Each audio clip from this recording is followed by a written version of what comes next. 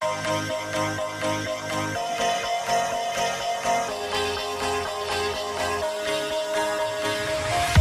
you ever feel like a plastic bag drifting through the wind, wanting to start again? Do you ever feel feel so paper thin, like a house of cards?